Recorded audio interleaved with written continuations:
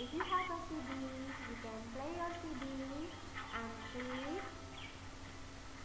on learning and click your computer. A computer as a machine. A computer is also a machine. It runs on electricity. It works very fast. It helps you save time and energy. A computer can be used to do many things. We can solve sums on a computer. We can draw pictures on a computer.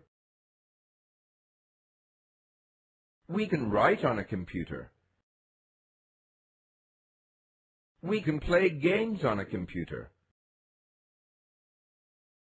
We can listen to music on a computer. We can store a lot of things on a computer.